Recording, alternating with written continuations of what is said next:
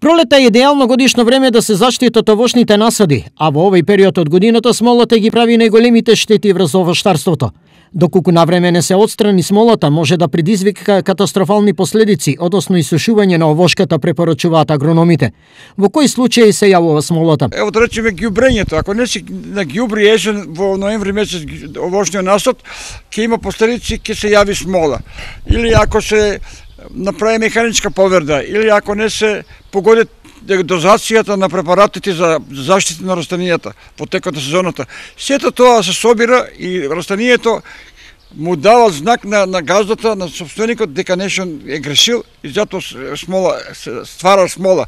Иначе смолата е го што растенијето до даска, што се вели. Значи, бидејќи за да се створи смола, растенијата ќе потроши многу енергија, многу храна и му треба време. И затоа таа, за таа година нема да има рад. Што треба да се превземе во овој случај? Со едно добро остро новче ќе се исече смола, смолата заедно со дел од кората, а местото што е засекот ќе се премачка со една густа каша од фунгицид, било каков цинеп, цирам, бакарна креч, бакарна вар или копроблау, што и да е, само да се спречи на, на тоа пресечено место да не навлезат бактерии кои после ќе ќе делуваат и ќе се јавуваат и други болести. Според Иванов, смолата најчесто се јавува кај семкастите плодови, односно црешите, вишните, праските. Исклучок од појава на смола има кај јаболките и крушите.